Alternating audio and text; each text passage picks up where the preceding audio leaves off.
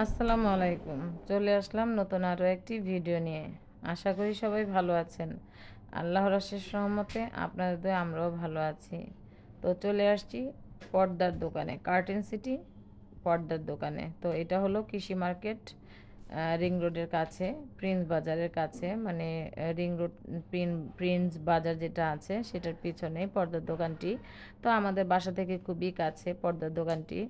তো আমি যেহেতু একটা বারান্দা করেছি, বারান্দায় যে জানালা হয়েছে, জানালার স্ট্যান্ডগুলি উপরে দেওয়া হয়েছে, তো পর্দাগুলি লম্বা ছোট হয়ে গেছে, যেহেতু পর্দা বানাতে হবে, তো এই তো এই পর্দাটা চুজ করেছে। আপনার ভাইয়া অনেক ভারী, মোটা বাহির থেকে যে আলো, সেই আলোগুলি আসবে না, ভেতরে মানে আলো ঢুকবে না, সেটার জন্য পর্দাগুলি আমার কাছে ভালোই লেগেছে। তো দুইটা কালার ছিল গোল্ডেন ব্লু।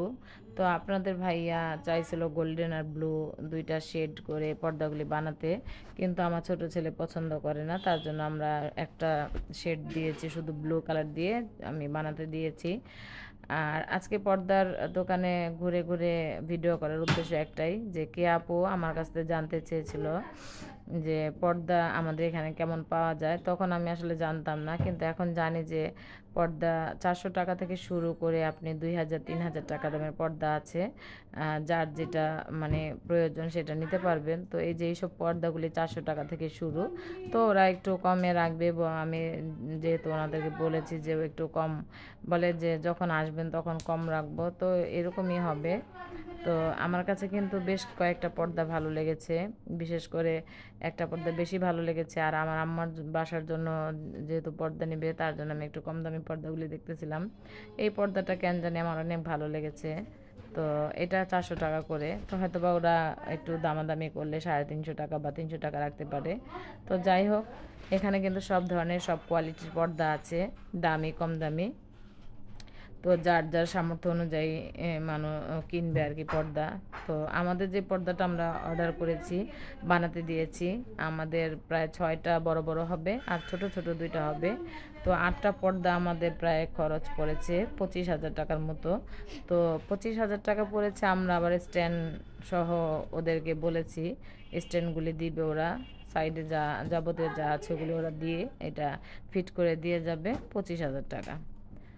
তো আসলে পর্দা একটু ভারী নিতে গেলে দামটা একটু বেশি পড়ে যায়। যেহেতু আমরা একটু ভারী নিয়েছি পর্দাগুলি।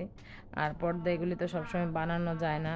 তো আর যেহেতু আমার জানালাটা লম্ব হয়ে গেছে ট্রেনগুলি অনেক বড় উঁচুর মধ্যে দেওয়া হয়েছে। তো আর কি আর কি। তো আমার কাছে কিন্তু বেশ ভালো লাগতেছিল পর্দার দোকানগুলিতে ঘুরে ঘুরে পর্দাগুলি ভিডিও করা, খুবই ভালো লাগতেছিল। তো বেশিরভাগ পর্দা পছন্দ হয়, দামি যেগুলি পর্দাগুলি সেগুলি কিন্তু অনেক পছন্দ হয়। তো আমাদেরটাও মোটামুটি বেশি একটা দাম ছিল না, হাজারের উপরে হয়তো বা পড়েছে, বারোশো, তেরোশো, আমার সঠিক জানা নেই।